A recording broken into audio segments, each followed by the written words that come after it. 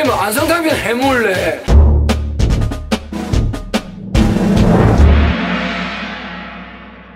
농심의 해물 안성탕면입니다. 가격은 750원. 편의점 가격으로 750원이거든요. 몇 분말 끝입니다. 오. 요거 명란젓 떨어져 나간 것 같이 생긴 해물볼입니다. 비주얼은 역시 안성탕면이다. 단순한 비주얼이다. 공복에는 두 봉지가 안성맞춤이다. 해물 맛이 내가 잘못 끓였나? 파란색 맞는데?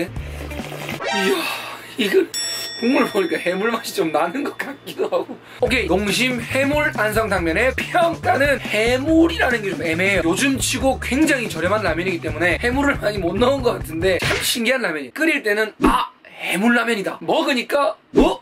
안성탕면이다 자세히 먹으니까 아 해, 해물 아, 없다고 할 수는 없는데 뭐가 있다고 얘기하기도 힘든 게 약간 내 재능?